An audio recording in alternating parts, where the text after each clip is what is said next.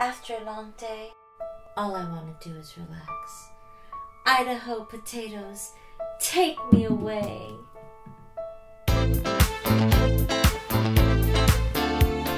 Hi, I'm Nicole, and this is Presley's Pantry.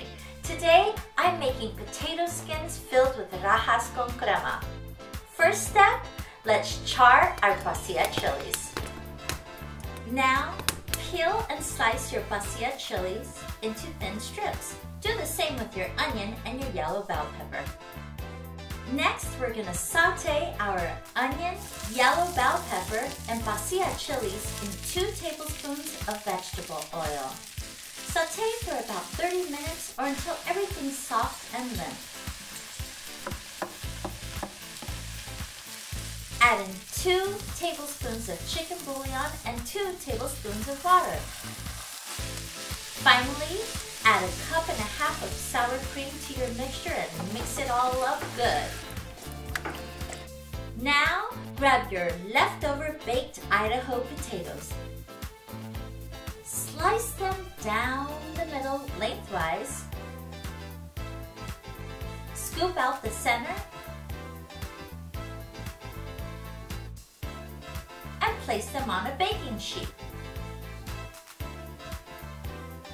Now, crumble some cotija cheese in the base of your potato skins. Spoon some rajas con crema in the center of your potato.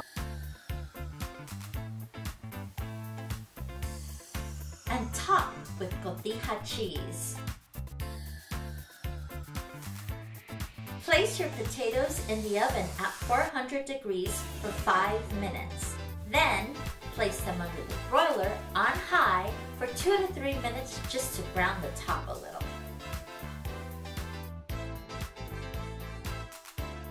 These unique potato skins, filled with rajas con crema, the world just became a better place.